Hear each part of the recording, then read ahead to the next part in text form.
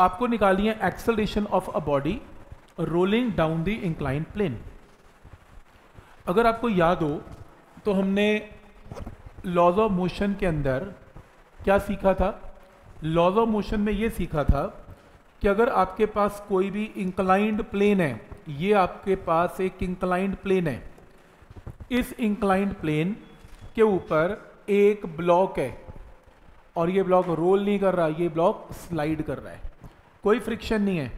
तो अगर ये ब्लॉक स्लाइड कर रहा है तो इसकी एक्सलरेशन कौन सी फोर्स इसको नीचे लेके आ रही है? एम जी साइन थीटा तो कितनी एक्सलरेशन से ये नीचे आ रहा है? जी साइन थीटा क्या ये स्टेप यहाँ तक क्लियर है?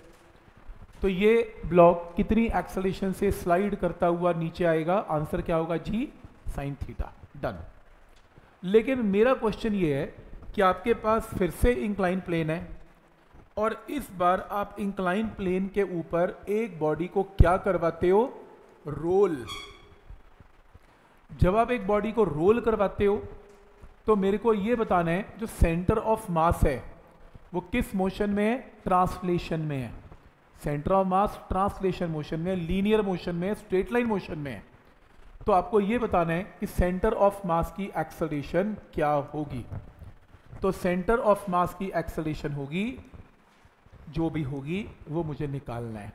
लेकिन इन केस ऑफ़ रोलिंग कम से कम आंसर जी साइन थीटा मत बोलना। जी साइन थीटा तब है जब क्या होती है? स्लाइडिंग और जी और रोलिंग के केस में क्या होती है? ये हम अभी कैलकुलेट करेंगे। यही एक्सप्रेशन है। क्या यहाँ तक ये पॉइंट क्लियर है यहाँ तक? कोई डाउट इसमें? तो इसमें एक काम करते हैं। ये डायग्राम को देखो। और टॉपिक का नाम है acceleration of a body which is rolling तो एक्सलेशन निकालनी है किसकी? एक बॉडी की जो क्या कर रही है? रोल कर रही है। और किसकी एक्सलेशन निकालनी है?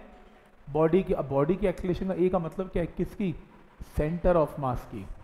क्योंकि सारी बॉडी के पार्टिकल घूमते हैं। अकेला एक सेंटर ऑफ़ मास है जो किस मोशन में होता है?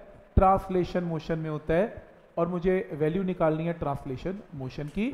Acceleration of centre of mass की। यहाँ तक ये स्टेप क्लियर है, यहाँ तक? तो डायग्राम ध्यान से देखें। डायग्राम में ये इंक्लाइन प्लेन है। ये एक बॉडी रोल करती हुई नीचे आ रही है। कौन सी फोर्स इसको नीचे लेके आ रही है? एम जी साइन थीटा कौन सी फोर्स नीचे लेके आ रही है? M g sine theta force weight क्या है? एम जी और ये क्या है? M g cos theta normal reaction क्या है? एन नॉर्मल रिएक्शन एन है। कोई डाउट इसमें। लास्ट है फ्रिक्शन फ्रिक्शन थोड़ी सी इसके अंदर ट्रिकी फ्रिक्शन हमेशा ट्रिकी रहती है। फ्रिक्शन की डायरेक्शन ही बहुत बड़ी ट्रिक है। तो फ्रिक्शन भी है इसमें और मैंने फ्रिक्शन पीछे ली। क्यों नहीं? उसका आंसर भी देता हूँ मैं। हालाँकि फ्रिक्शन के ऊपर कम से कम एक लेक्चर पूरा लगेगा, जिसमें फ्रिक्शन डिस्कस की जाएगी यहाँ पे। एक पूरे लेक्चर में फ्रिक्शन का टॉपिक है। बिल्कुल जैसी फोर्स के बाद फ्रिक्शन थी, पूरा एक टॉपिक था, इसमें भी एक पूरा टॉपिक है। क्लियर है यहाँ तक? तो ये फ्रिक्शन की वैल्यू है। क्यों ली पीछे बताता हूँ। मेरे को क्या निकालना है? Acceleration of centre of mass क्योंकि बड़ी रोल कर रही है। रोलिंग किससे बनी हुई है?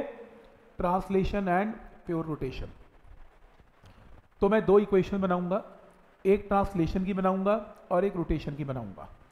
ट्रांसलेशन में कौन ट्रांसलेट कर रहा है इसमें? सेंटर ऑफ़ मास और ट्रांसलेशन मोशन में कॉन्सेप्ट ऑफ़ फोर्स लगता है। फोर्स तो कॉन्सेप्ट ऑफ़ फोर्स से सॉल्व होगा।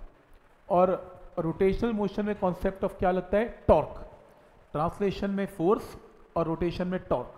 मैं दो इक्वेशन अलग बनाऊँगा, ट्रांसलेशन की अलग और रोटेशन की अलग, और दोनों को कंबाइन करके रोलिंग सॉल्व हो जाएगी। क्लियर है यहाँ तक? विदाउट इसमें।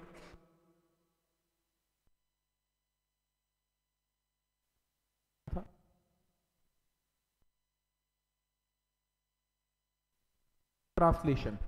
ट्रांसलेशन किसकी है? सेंटर ऑफ़ मास की है। सेंटर ऑफ़ मास की इक्वेशन क्या बनेगी? M G sine theta minus force of friction is mass into acceleration of centre of mass क्या फ़र्स्ट इक्वेशन क्लियर है? और मैं लिख के दिया हुआ है equation of translation can only be applied on centre of mass क्योंकि centre of mass translation motion में होता है। सही है? नेक्स्ट है रोटेशन रोटेशनल मोशन में टॉर्क जनरेट होगा। अब मुझे सिर्फ़ डायग्राम में देखते हुए ये बताओ, क्या इसका जब ये बॉडी रोल कर रही है, इसका एक्सेस कहाँ से पास कर रहा है? यहाँ से। मानते हो?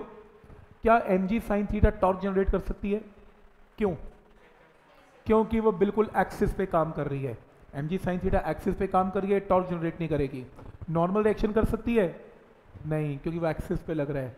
एम जी कर सकता है? नहीं, क्योंकि वो एक्सिस पे लग रहा है। एम जी कॉस थीटा कर सकता है? नहीं, वो एक्सिस पे लग रहा है। फिर कौन बचा? फ्रिक्शन जो एक्सिस पे नहीं लग रहा। तो टॉर्क कौन जनरेट करेगा? फ्रिक्शन अब फ्रिक्शन टॉर्क कैसे जनरेट करेगा? फ्रिक्शन की डायरेक्शन एक बहुत बड़ा क्वेश्चन है यहाँ पे जो हम डिस्कस नहीं कर रहे, कि मैंने क्यों ली फ्रिक्शन ऐसे। हाँ एक लाइन में समझाना चाहता हूँ। ये फ्रिक्शन मैंने इसलिए पीछे ली क्योंकि मैं चाहता हूँ कि बॉडी आगे रोलो तो जब मैं फ्रिक्शन पीछे, ये फोर्स पीछे लूँगा तो बॉडी की रोलिंग कैसे हो रही है? आगे, देख रहे हो? तो फ्रिक्शन ही टॉर्क जनरेट करवा रहा है, ऐसे, देख रहे हो? ये देखो तो इसलिए बॉडी आगे जाएगी। तो समझ में आ रहा है फ्रिक्शन पीछे क्यों ली? ये फ्रिक्शन की नेचर फ्रिक्शन दो टाइप की है, या कानेटिक या स्टैटिक अब आगे बहुत बड़ा क्वेश्चन है, एक पूरा लेक्चर लग जाएगा, मैं आगे नहीं जा रहा हूँ। हाँ इतना ज़रूर बता रहा हूँ, ये बॉडी स्लिप बिल्कुल नहीं हो रही रोल कर रही है। इसकी स्लाइडिंग नहीं हो रही, ये बॉडी घिसट नहीं रही तो कम से कम ये फ्रिक्शन का नाम कानेटिक नहीं है।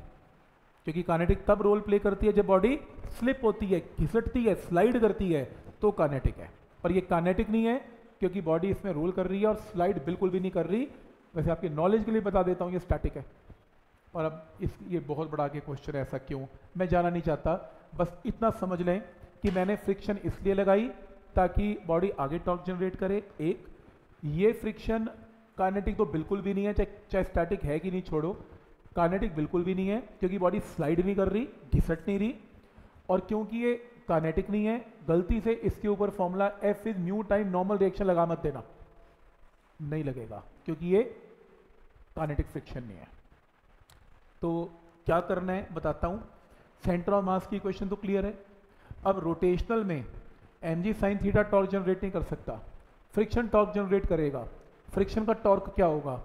ये एक्सेस है R into F force into perpendicular distance तो आर इंटू एफ़ क्या इसका टॉर्क है लेकिन टॉर्क का एक और फॉर्मूला मैंने सिखाया था last time I times alpha यहाँ से आपने एफ़ निकाल दिया। तो एफ़ न्यू टाइम एन नहीं लगेगा टॉर्क से निकलेगा एफ़ इस एफ़ को उठा के आपने यहाँ पुट करना है। इस एफ़ को उठा के आपने ऊपर पुट करना है। तो ये आपने ऊपर पुट कर दिया। क्योंकि बॉडी क्या कर रही है? रोल कर रही है। और हमने रोलिंग में इक्वेशन की थी A is equal to R alpha centre of mass की जो एक्सेलेशन होती है, वो क्या होती है? आर एल्फा एल्फा की वैल्यू ए बाई आर इसको उठा के यहाँ पुट कर दिया तो क्या बना? ए बाई आर स्क्वायर ये टर्म राइट पे आ गई. A centre of mass common आ गया. ये पूरी टर्म इसके नीचे आ गई. ये वैल्यू आ गई. तो acceleration of centre of mass आ गया. क्योंकि ये बॉडी कुछ भी हो सकती है रिंग डिस्क स्क्वायर कुछ भी. तो मैंने इन जनरल फॉर्मूला क्या पुट कर दिया? रेडियस ऑफ़ गायरेशन की फॉर्म में एम के स्क्वायर तो आई की जगह M K square M M M cancel और बहुत बढ़िया फॉर्मूला आ गया. G sine theta upon one plus K square by R square तो जब कोई बॉडी रोल करेगी नीचे इंक्लाइन प्लेन पे तो उसके सेंटर ऑफ़ मास की एक्सलेशन का फॉर्मूला क्या होगा? G sine theta upon one plus K square by R square कोई डाउट इसमें? अब आपके स्कूल के अंदर पॉइंट ऑफ़ व्यू से सुन लो। आपके स्कूल में वो कहेगा कि इंक्लाइन प्लेन पे एक रिंग रोल कर रही है रिंग की एक्सलेशन निकालो। किसी और स्कूल का टीचर लिख देगा डिस्क की निकालो। किसी और स्कूल का लिखेगा सॉलिड स्फेयर की निकालो। तो तुम यहाँ तक तो सेम ही कर लेना। फिर जिस स्कूल में आएगा रिंग एंड में पुट कर लेना K square by R square ring का क्या होता है? वन। वन पुट कर देना। अगर आएगा डिस्क तो के स्क्वायर बाई आर स्क्वायर क्या होता है? हाफ़ आंसर अगर आएगा सॉलिड स्फेयर तो के स्क्वायर बाई आर स्क्वायर क्या है? टू बाई फाइव आंसर तो अपना अपना आंसर निकाल लेना। तो पॉइंट क्लियर है यहाँ तक। इंपॉर्टेंट मार्क कर लेना है। घर जाके इसको नोट भी कर लेना है, क्योंकि जो चीज़ आती है पेपर में, हमेशा नोट करवाता हूँ। तो इतना टाइम नहीं है, क्योंकि और भी बहुत काम करना है आज। तो इसे प्लीज़ अपनी कॉपी में लिख के ज़रूर देख लेना, एक रिक्वेस्ट है इसमें। कॉपी में नोट करना है इसे। मैं वो चीज़ बिल्कुल नहीं लिखवाता, जो आनी नहीं है मुझे मालूम है, उसको मैं ऐसे ही पढ़ाता हूँ, क्योंकि क्यों टाइम खराब करना, जो आना नहीं है। लेकिन जो पक्का आना है, उसको तो ज़रूर लिखना चाहिए। तो हर की कॉपी में ये डेरिवेशन होनी ही चाहिए। ठीक है?